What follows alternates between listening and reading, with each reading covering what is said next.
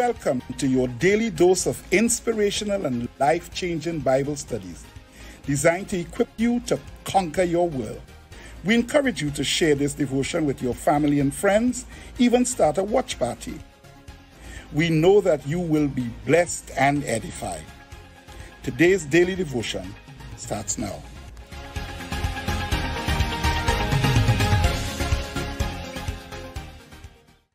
All right, all right, all right, all right, all right. Good morning to all of you. Welcome to our devotion this morning. Uh, this is the day that the Lord has made. We will what? We will rejoice. We will rejoice and be glad in it. All right. So God bless each and every one of you this morning. Thanks for joining in. Let's just have a word of prayer and then we're going to get straight into the word of God this morning. Father, we thank you. We thank you for your goodness and your mercies. Oh God, I thank you that there are no battery power to your goodness and your mercies where, you know, sometime that we got to change out those batteries because your goodness and your mercies ran down. No, God, I thank you that your goodness and your mercies, they are new. They are new every morning. That means right now, full, top up, maximum uh, power, new every morning, and great is thy faithfulness. Thank you that you still forgive sins. Cleanse us and wash us in all of our hearts and minds, our words, our actions, our deeds. Thank you for our families. Thank you for our nation. Thank you for our leaders. Thank you for our children, our spouse.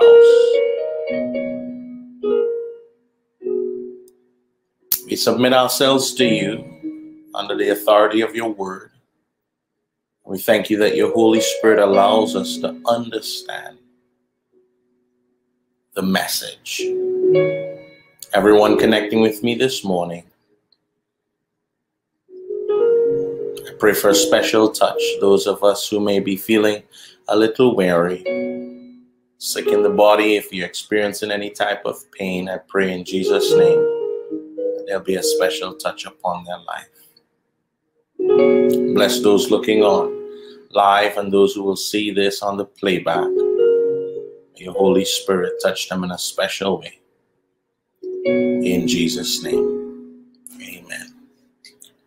All right. Well, God bless each and every one of you again.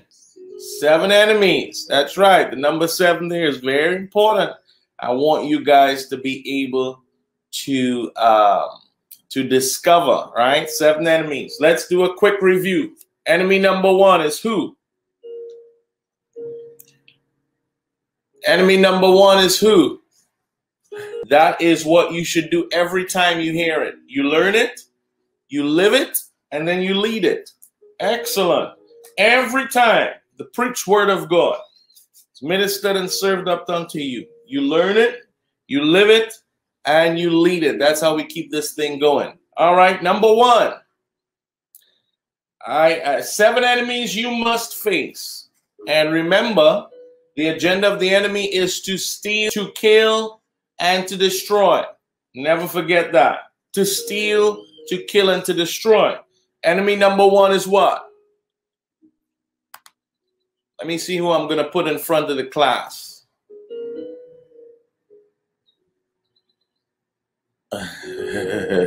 So. Enemy number one. I'm seeing number two.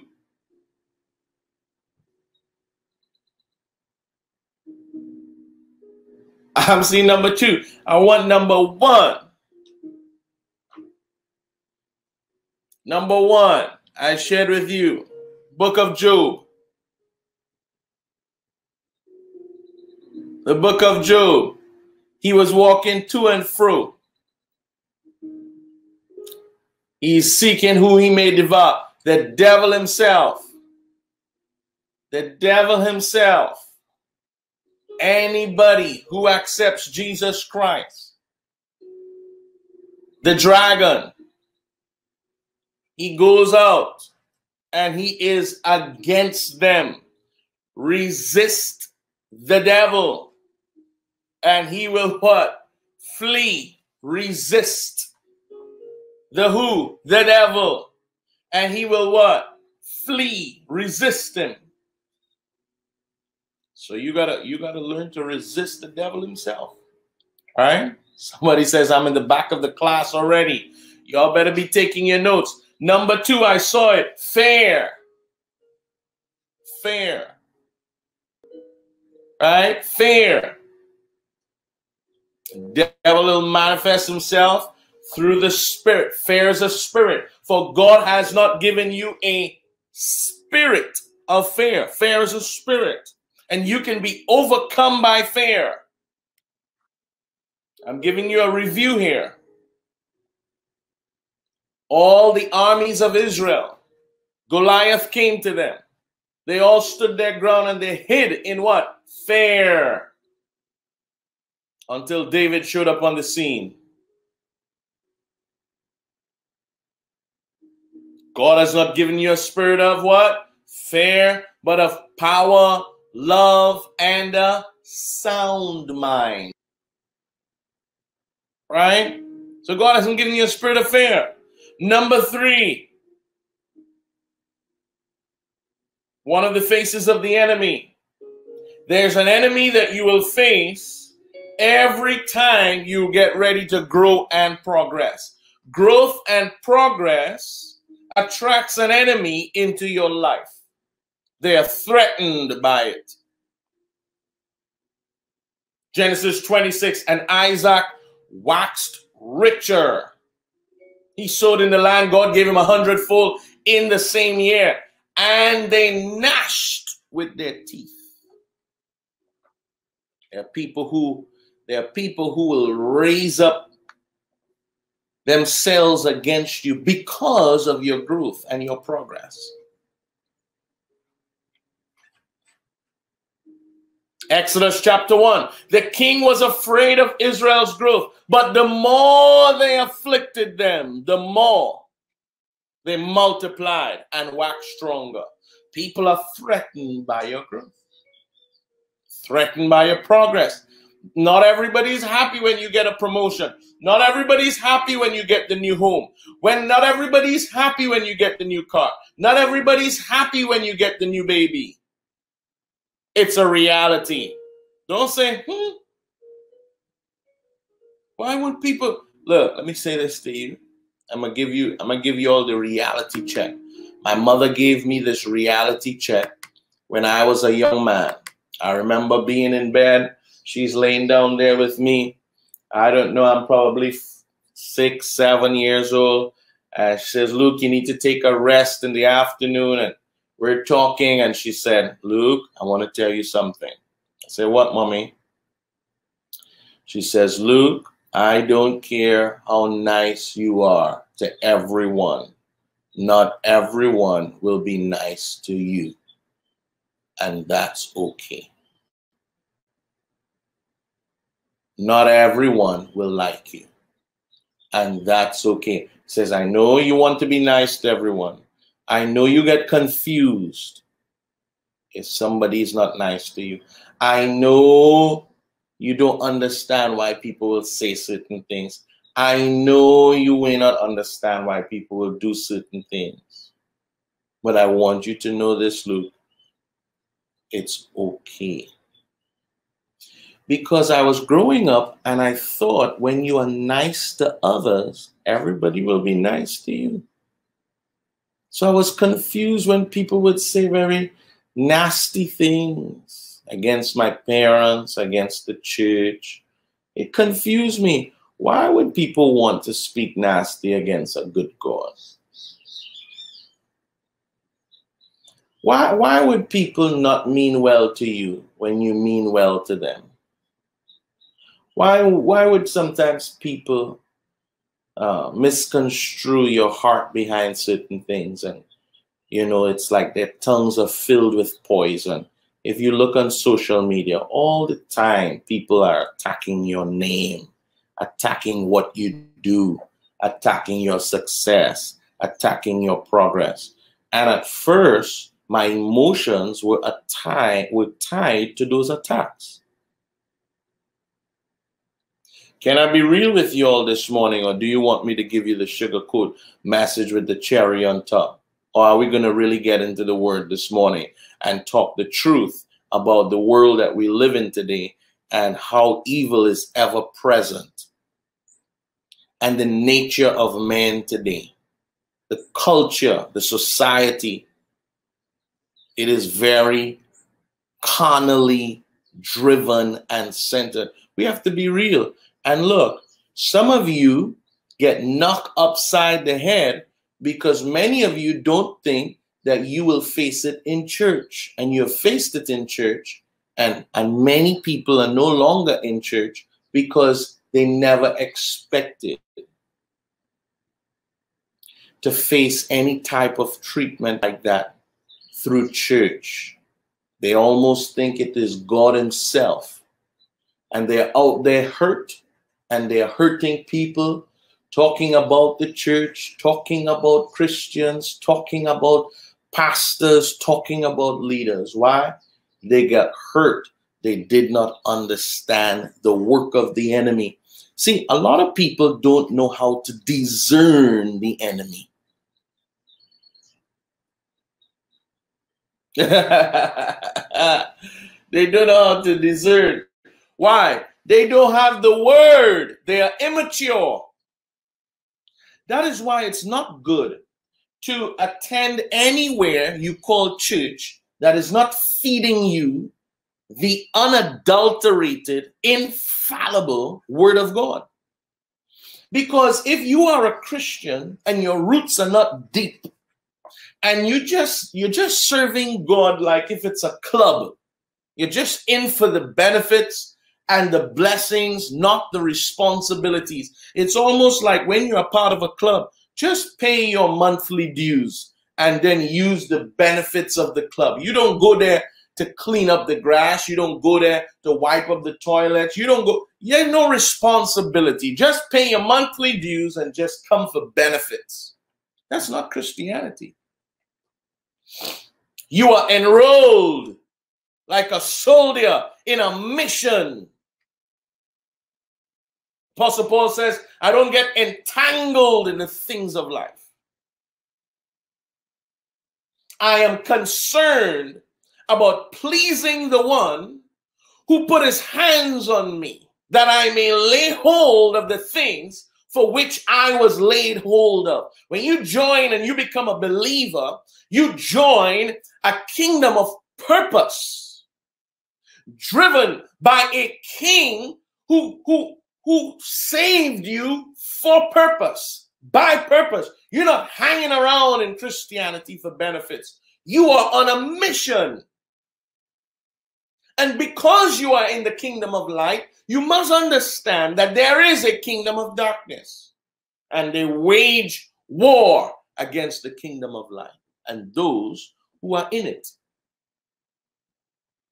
So you don't, it's, it's dangerous to be walking around here and you're not well taught in the word of God.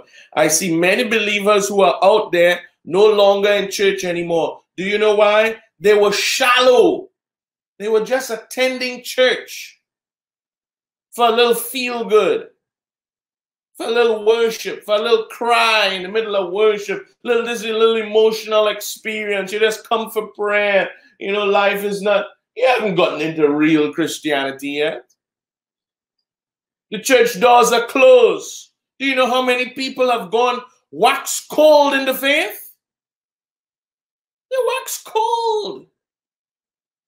Because the doors of the church is closed roots shallow. Now it's time to play themselves. There's no commitment. Look, come on, come on, folks. I, I was born in the 80s.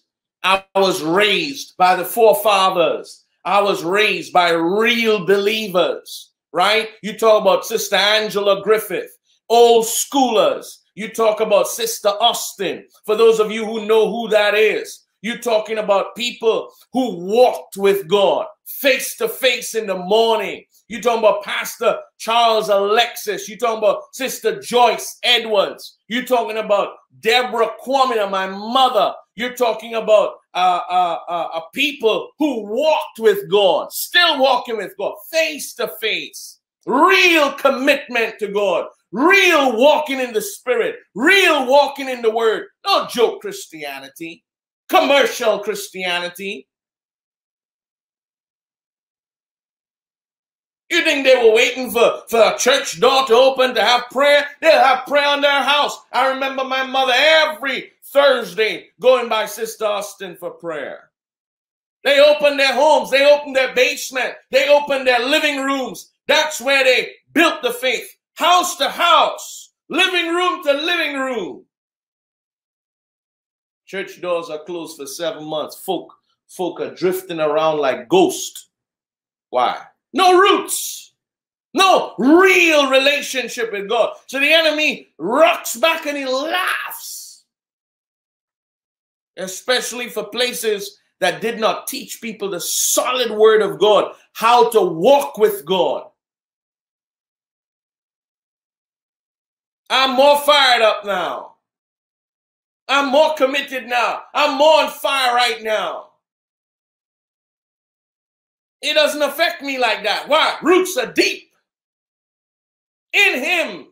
We've been walking with God for a while. We didn't just come to this party.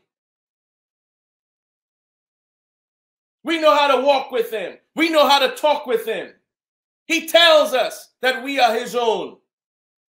This is not child's play. This is not kindergarten Christianity. It's the real deal is the real deal. So the enemy laughs because he succeeds getting a lot of people to drift away from their commitment to the Lord right now because they don't discern how he works.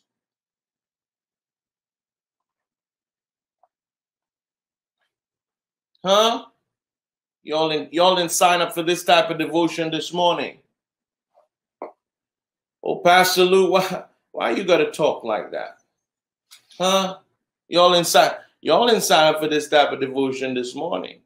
He said, Well, Luke, Luke, just give us the swing on the chandelier, gentle, uh, gentle Jesus, meek and mild. Just just give me the M&M's type of Skittles type of devotion with a lot of colors and very sweet. Give me the nice, colorful one. This morning, you, you, you're putting down a zebapique type of devotions. It don't taste good at all. Now I'm gonna tell you the truth. I'm seeing it. All kinds of stuff happening because the doors of the church are closed. And it's revealing, it's revealing that a lot of people were walking around with shallow roots. Shallow.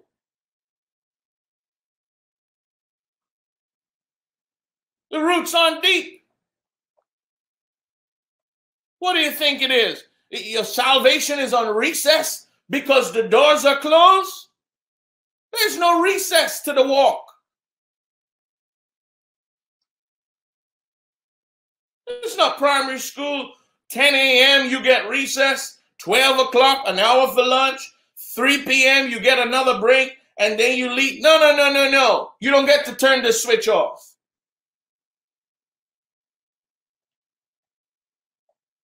You better tag somebody right now who needs to hear this message. Tag them right now. You don't need no permission. Tag, say, get, you need to get in on this this morning. You need to get in on this this morning. I didn't come to sugarcoat because I'll tell you this. I mean, let me show you. Let me let me show you in the scripture. I want to show you this. I'll probably do it from my phone. I'm gonna describe how the Bible tells you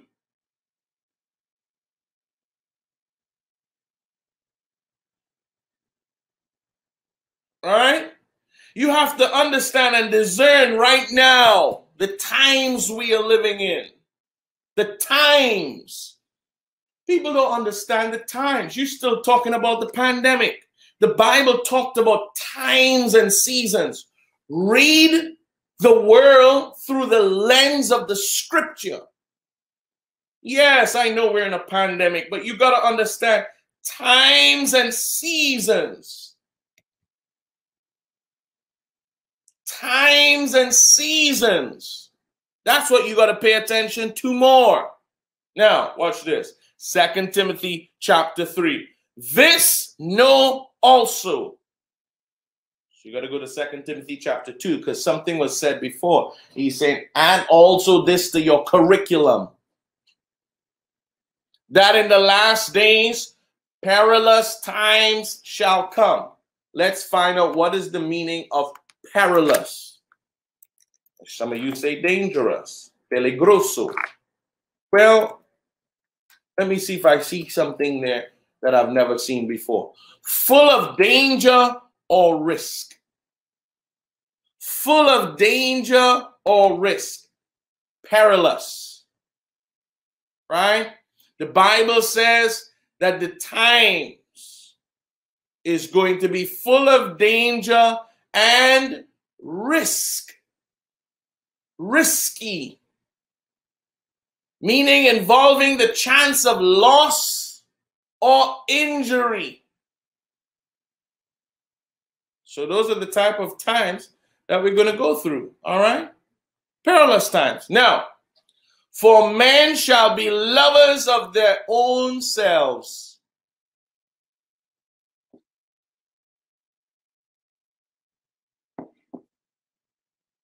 Man shall be what? lovers of their own selves, covetous, boasters, proud, blasphemers, disobedient to parents, unthankful, unholy, without natural affection, truce breakers, false accusers, incontinent, fierce, despisers of those that are good, traitors, heady, high minded, lovers of pleasure more than lovers of God, having a form of godliness, form of godliness, but denying the power thereof, from such turn away.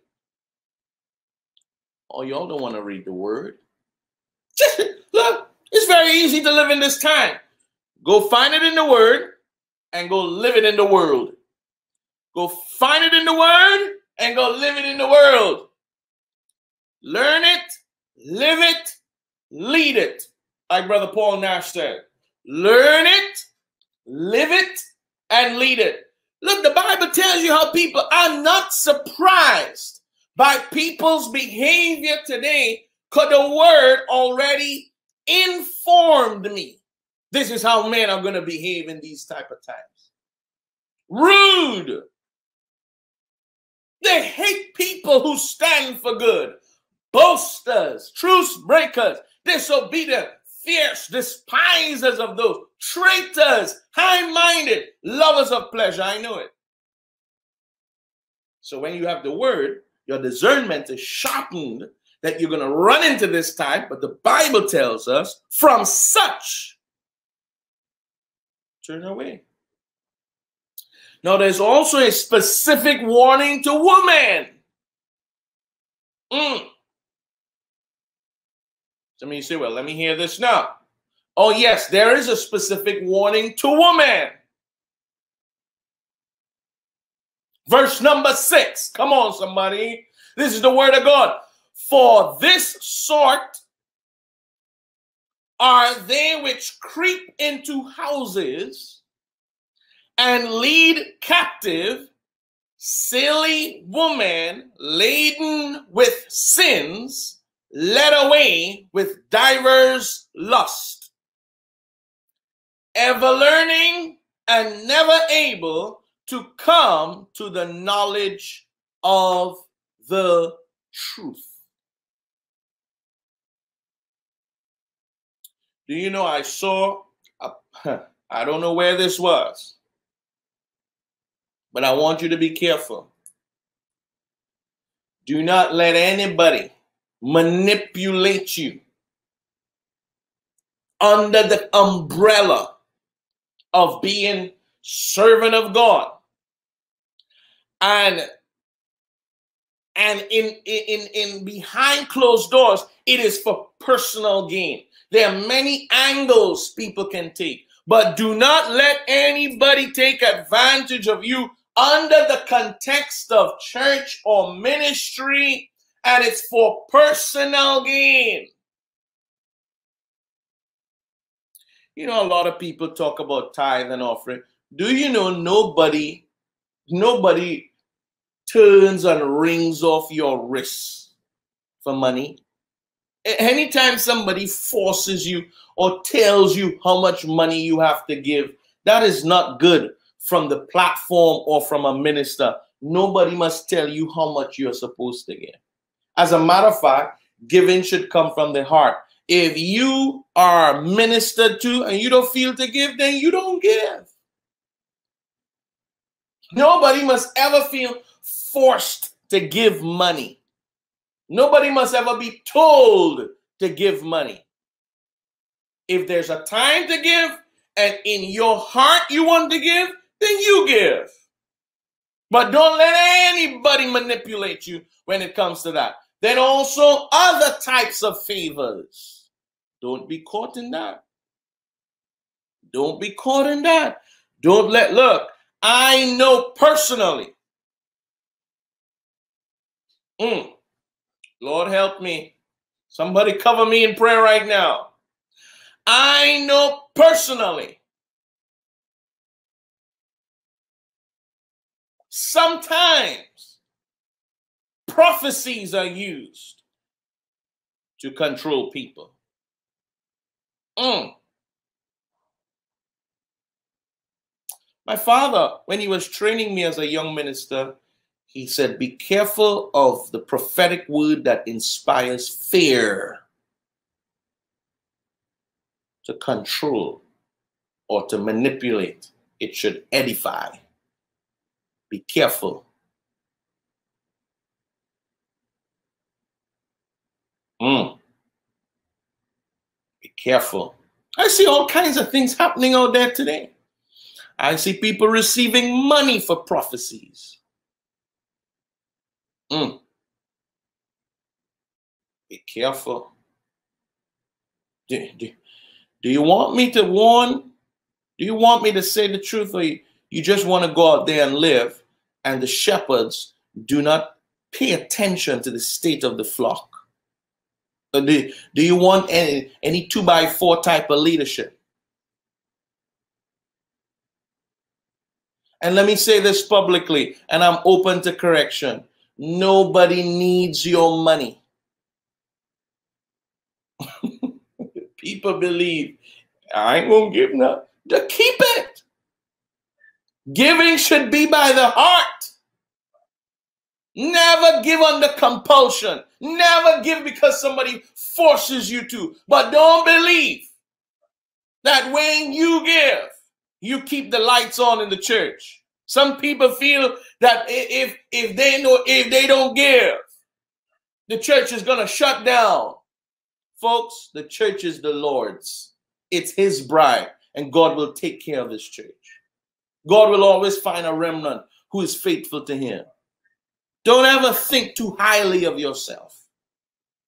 Don't ever think you, you're more important than you are. Everybody's worth Everybody has value, but don't think too highly of yourself. I don't care how much you give. Do not think too highly of yourself. Humble yourself under the hand of the mighty God. If it is a shilling, God is faithful. He looks at your sacrifice. If it's a million, God is faithful. He looks at your sacrifice. We are not measured by the amount, we are measured by our sacrifice. So let your giving come from the heart. Nobody must force you. And for those of you who don't want to give, don't give. Please don't give. If your heart is not in it, please do not give. I give you permission to not give if your heart is not in it. The devil shows up in all types of forms. I need to do a midweek Bible study and I will go down in depth to show you how the devil is working right now in society. He's working. People don't know how to discern him.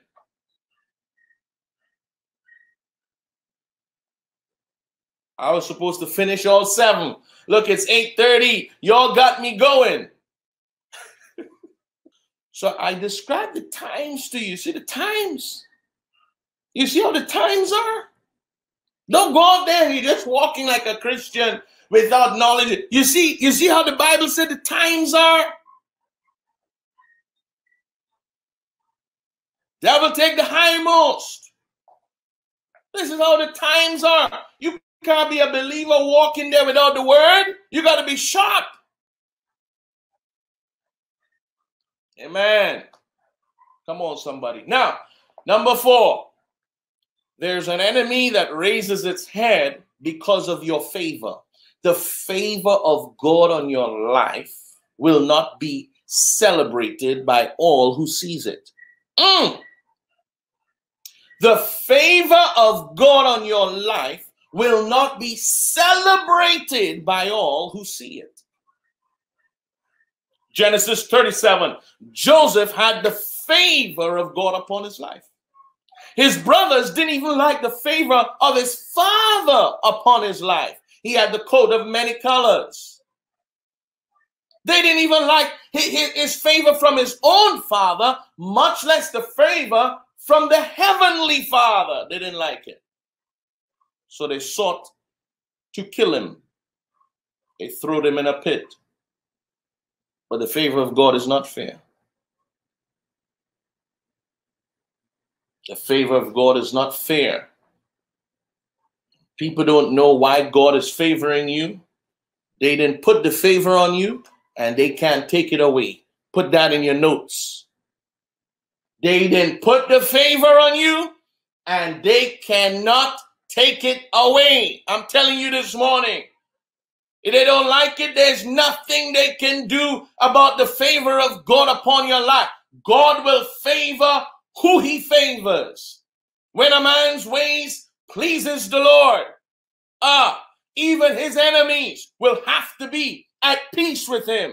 That's the power of God. Ain't nobody could turn that off.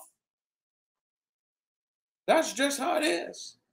But I can tell you this the favor of God causes a, an enemy to surface. Do you remember Genesis 26? Isaac dug a well. They say, well, that well is ours. No, it isn't. If the well was sitting there dry all the time, all of a sudden I put some work into the well. Now water has returned, like in the days of my father. All of a sudden, because you all see the water, all of a sudden now you want to clean the well. But it's okay. You can move me from the land, but you can't move my favor. Mm, that's a word. That's a word. So they named that place Esek because they, they, they confronted him. And, and he gone and he dug another well. And when he dug another well, all the time the well was dried up. Come on, somebody. The well was dried up. No water. And as soon as they start to see water, they say, That's our well, too. All right, well, go ahead and take your well. You don't realize it's not the well? It's the favor. Anywhere I go, if I put my hands on a dry well, water is going to come out of it. It's not me, it's the hand that is on me. It is the hand of God. It is the hand of favor. You could move me seven times. Anywhere you move me, the water is going to come from the earth because it's the favor of God upon my life. Come on, somebody. They can mess with the well but they can't mess with your favor.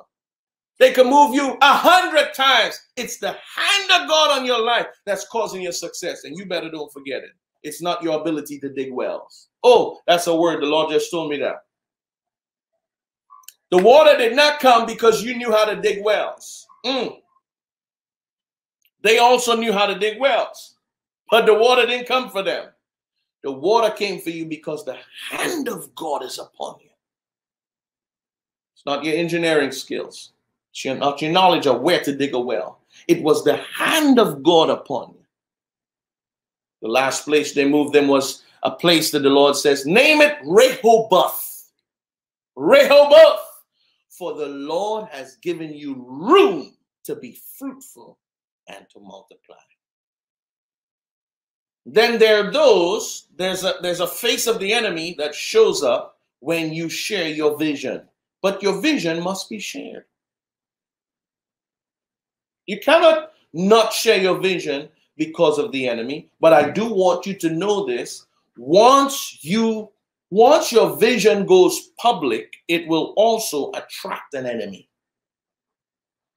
I'm, I'm just telling you, once you say you're going to build, once you say you're going to buy, once you say you're going to expand, once you say you're going to develop, once you say that, just know this it triggers an enemy.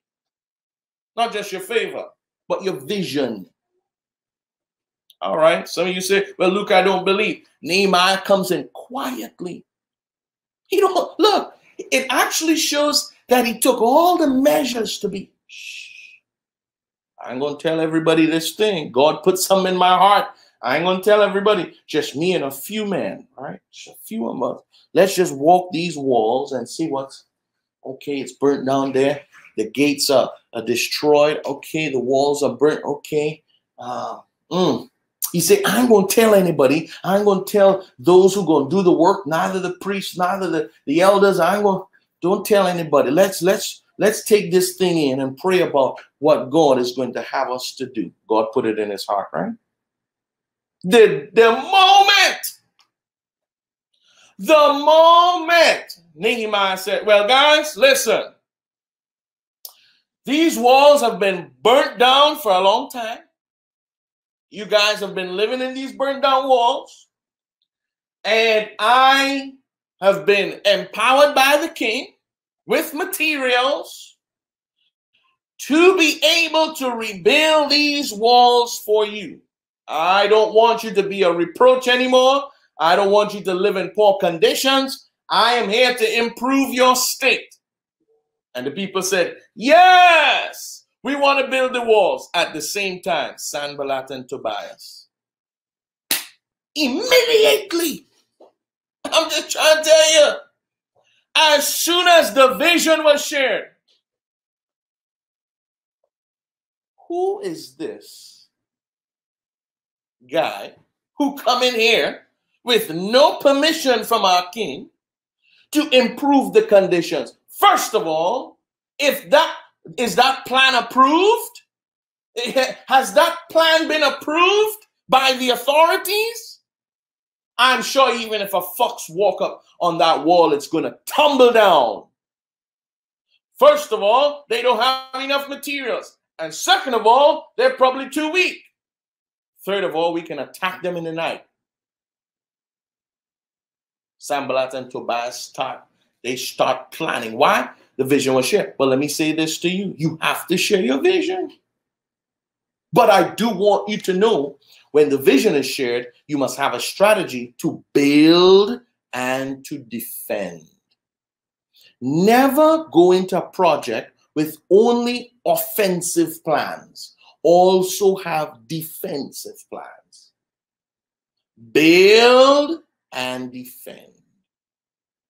Build and defend. Progress and pray. That's good for you. Put that down in your notes. Progress and pray. Cover, Lord. Protect what we are progressing in. I don't want to progress without protection. God protect. Come on, somebody. You you you don't play around. You you share this vision, but you gotta have a press strategy to back up and have protection over your progress. Don't progress without protection. I always remember my uncle on a Saturday. You know, we went to pick pomerac. I'm trying to say it in a way that the, the Americans will understand it. It's pomerac. Pom, I think, is French for apple, is it? Pom? So, somebody might be able to help me. Pom, and pom is pom is something in some other language. I think it's apple, right? and so, but in Trinidad, we say pomerac. You go and get pomerac. Anyways, on a Saturday, my uncle saw this beautiful pomerac, and everybody knows that when it's dark, right? The darker, the sweeter, right? The darker the pomerac, the sweeter the juice. But what he saw, somebody say French cashew. Thank you. That's pretty good. I was just informed there, right? So the back of that pomerac had a little hole and what we also call, what you may call a wasp, and what we call a jack spaniard was in that hole. It was in the hole. And he was kind of teasing me that he was getting, you know, all the nice ones. I was down on the ground and I was catching them to put in a bucket. But when he saw a nice big dark one, he was taking it and eating it and throwing down the seed for me, you know, like teasing me. And boy, this Saturday, he got that one. It was big and juicy. He didn't see there was a little hole in the back, and a Jack Spaniard was inside of there. And boy, he gave it the bite of his life. And in minutes, anybody knows about Jack Spaniard, they are loaded. As soon as he couldn't go to church the next day, his lip touched his nose. He couldn't say anything. He couldn't even eat soup. His lip touched his nose. He was ready to eat, but he was not ready to defend. I'm trying to tell you, that's how the enemy works. He's going to go a place you are accustomed going and you never had to defend yourself. He's going to get himself tied up inside of there so that you could go ahead and plan your progress without protection and without prayer. He said, I'm going to catch it. Go ahead. You always do that. You always know how to build. Without prayer, go ahead and keep building. I'm going to get involved in the middle of the building. Catch you off guard. All right? They get threatened by your vision. Do you know why? Because if you go ahead and finish this vision, it will give glory to God. The Bible says, let men see your good works that they may glorify your Father in heaven. The devil does not want more glory to go to our Father in heaven. So he fights against us fulfilling our vision because the fulfillment of the vision will bring honor and glory to God, and he doesn't want that. So you have to understand the context of why he will fight against the vision. But let me just finish with this one. There's an enemy that rears its head because of your possessions and your wealth increasing. Some of you don't want to hear this, but I'm going to tell you this right now. That is why when you are increasing, you must grow humbly. Write that in your notes. You must grow humbly. Do not show and tell everything. Some of you right now was like the parrot that I no longer have at my house. That parrot, I always warn that parrot. Parrot, you talk too much. Everything you're talking about in the yard. The bird pass, you talk. The dog bark, you talk. A plum fall, you talk. You see me, you talk. You see yourself, you talk. I tell that parrot, just rest. You talk too much. Some of you believers have parrot syndrome. Just grow humbly. Ain't nobody have to know everything about everything because I'm telling you, not everybody is fired up and excited about your increase.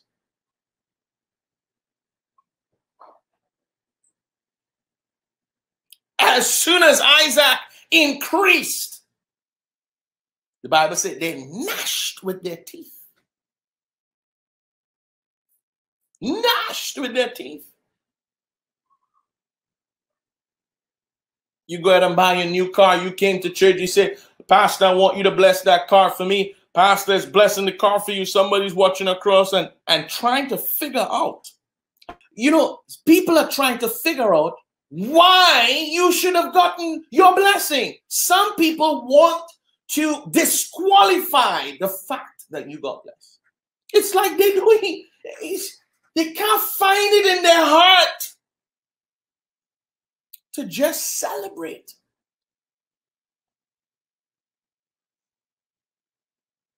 Mm. Because they, they so badly want it to happen for them, but it hasn't happened yet that they can't celebrate your success because they're comparing. So, knowing that when you are increasing, increase humbly. Because sometimes you're giving the enemy information. Look up at every time. When they heard Nehemiah, when they heard, when they heard, when the information got shared, they grabbed the information and they start working on strategy. When they heard, when they heard. One time a man met me in New York. He doesn't, he just met me in a business environment, so he doesn't know um, that my father is my father. He doesn't know the relation. So what churches go to in San Fernando? In Trinidad, I say well, in San Fernando, I go to a church called San Fernando Open Bible. I like to sometimes speak like that just to hear what people would say. the guy said, who coming up? I said, yeah, yeah, Pastor Quamina is my senior pastor. He said, Quamina now? He said, here, just Quamina just buying up real estate in San Fernando. Them fellas are really concerned about the work of God and, and people getting saved. And so them fellas really buying up once in a real estate in San Fernando. I say, well, okay.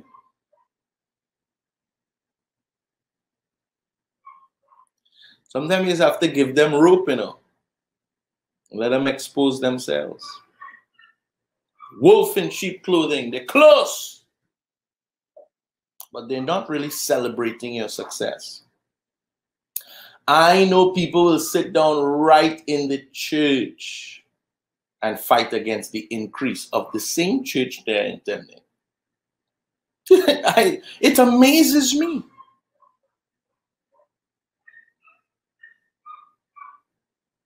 It amazes me. If the tree is laden, somebody's going to pelt big stone at that tree. Sometimes it's very hard to, to hide all your harvests. So just know, just, just know that Luke is telling you this morning that your increase in possessions and wealth will be another reason that the enemy shows its ugly head. Study the book. Study Isaac. You wax rich, then they gnashed. As a matter of fact, some people will be more happy if you stay broke and poor.